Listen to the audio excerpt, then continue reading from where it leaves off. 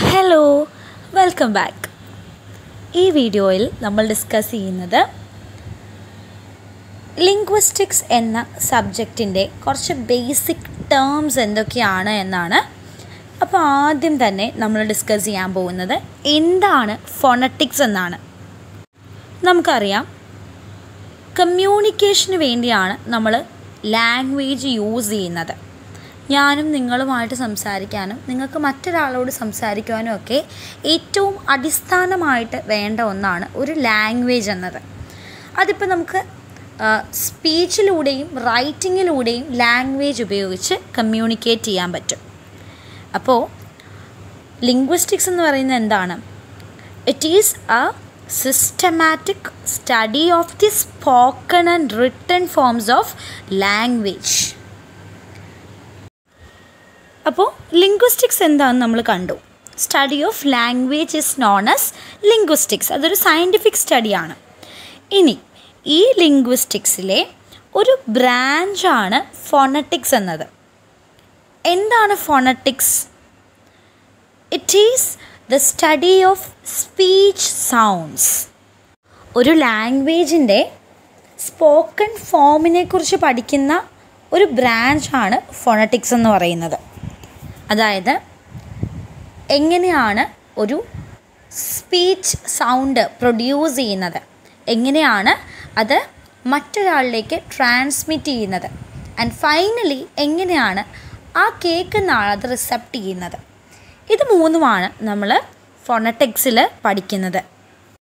And phonetics deals with all possible sounds human vocal organs can produce അങ്ങനെ ഫൊണറ്റിക്സിനെ നമ്മൾ മൂന്നായിട്ട് ഡിവൈഡ് ചെയ്യുന്നു.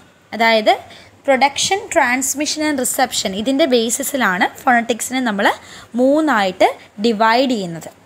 ഏതൊക്കെയാണ്? Articulatory phonetics acoustic phonetics and auditory phonetics ആദ്യത്തത് ആർട്ടിക്കുലേറ്ററി ഫൊണറ്റിക്സ് ഇവിടെ നമ്മൾ എന്താ പഠിക്കുന്നത് എങ്ങനെയാണ് സ്പീഡ് സൗണ്ട്സ് പ്രൊഡ്യൂസ് ചെയ്യപ്പെടുന്നത്. ആൻഡ് ഈ ഒരു പ്രോസസ്സിൽ എങ്ങനെയാണ് സ്പീച്ച് ഓർഗൻസ് സ്പീച്ച് സൗണ്ട്സിന്റെ പ്രൊഡക്ഷന് വേണ്ടി മൂവ് ചെയ്യുന്നത്? ആ മൂവ്മെന്റിനെ കുറിച്ചാണ് നമ്മൾ ആർട്ടിക്കുലേറ്ററി ഫോണറ്റിക്സിൽ പഠിക്കുന്നത്. ലങ്സിൽ നിന്ന് പുറത്തേക്ക് പോകുന്ന എയർ എങ്ങനെയാണ് വോക്കൽ ട്രാക്റ്റ് വഴി പുറത്തെത്തുന്നതെന്നും എങ്ങനെയാണ് ഈ ഒരു പ്രോസസ്സിലൂടെ ഡിഫറെന്റ് സ്പീച്ച് സൗണ്ട്സ് പ്രൊഡ്യൂസ് ചെയ്യുന്നതെന്നും നമ്മളിവിടെ കാണുന്നു. ഇനി രണ്ടാമത്താണ് acoustic phonetics. Speech സൗണ്ടിന്റെ transmission from the speaker to the listener. അതാണ് നമ്മൾ അക്കോസ്റ്റിക് അനാലിസിസിലൂടെ കണ്ടെത്തുന്നത്. Deals with the physical properties of speech അതായത് ഈ ട്രാൻസ്മിഷന്റെ ആ ഒരു ടൈമിൽ സൗണ്ടിനെ സ്പീച്ച് സൗണ്ടിനെ അഫക്റ്റ് ചെയ്യുന്ന ഫ്രീക്വൻസി ആംപ്ലിറ്റ്യൂഡ് തുടങ്ങിയ ഫിസിക്കൽ പ്രോപ്പർട്ടീസിനെ കുറിച്ചും ട്രാൻസ്മിഷനെ കുറിച്ചും ഒക്കെ പഠിക്കുന്ന ഒരു സെക്ഷനാണ് അക്കോസ്റ്റിക് ഫോണറ്റിക്സ് എന്ന് പറയുന്നത്.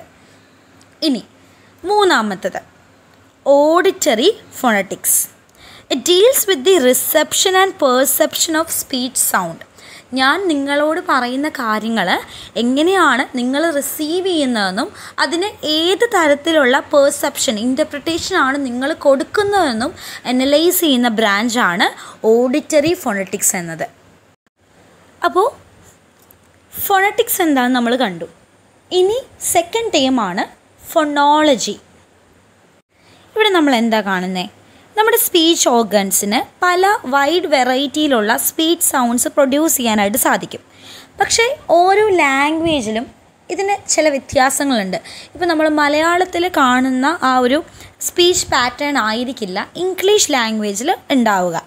Each language makes use of only a selected group of sounds and ഈ പറയുന്ന സെലക്റ്റഡ് സൗണ്ട്സുകൾ ഒരു പ്രത്യേക രീതിയിൽ ചില ലാംഗ്വേജിന് അതിന്റേതായിട്ടുള്ള രീതിയിലായിരിക്കും organise ചെയ്തിട്ടുണ്ടാകുക so this selection and organisation of speech sounds in an individual language is called phonology അല്ലെങ്കിൽ ഒന്നും കൂടി സിംപ്ലിഫൈ ചെയ്ത് പറയുമ്പോൾ the study of speech sounds in relation with other languages is known as phonology ഇനി മൂന്നാമത്തെ ഒരു section എന്താണ്?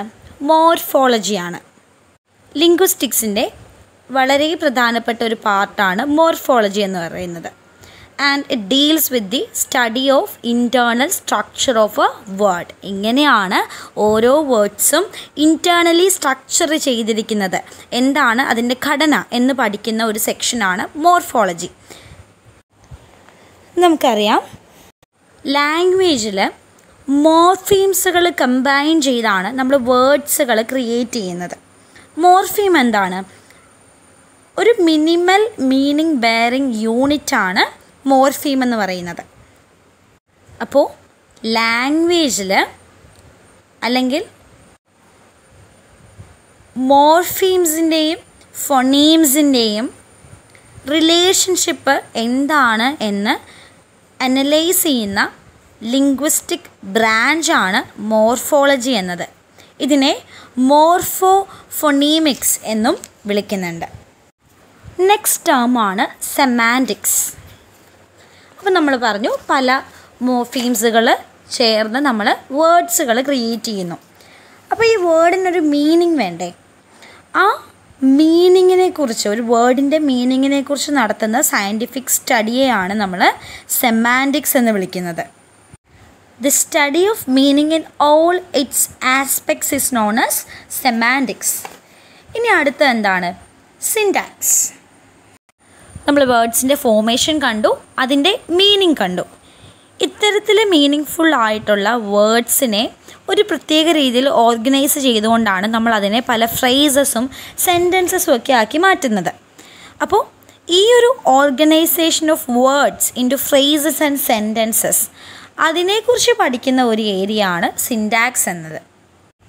ഒരു സിംഗിൾ യൂണിറ്റ് എങ്ങനെയാണ് മീനിങ് ഫുള്ളി അറേഞ്ച് ചെയ്തുകൊണ്ട് ഒരു ലാർജർ സ്ട്രക്ചർ ഒപ്റ്റെയിൻ ചെയ്യുന്നതെന്ന് നമ്മളിവിടെ കാണുന്നുണ്ട്. ഗ്രീക്ക് വേർഡായിട്ടുള്ള സിൻടാക്സിസിൽ നിന്നാണ് നമ്മൾ സിൻടാക്സ് എന്നുള്ള വേർഡ് എടുത്തിരിക്കുന്നത്. അപ്പോൾ ആ വീടിന്റെ മീനിങ് എന്താണ്? അറേഞ്ച്മെന്റ് എന്നാണ്. അപ്പോൾ ഇത്തരത്തിലൊരു അറേഞ്ച്മെന്റിലൂടെയാണ് നമ്മൾ വേർഡ്സിനെ ഫ്രേസസും സെന്റൻസസും ഒക്കെ ആക്കി മാറ്റുന്നത്.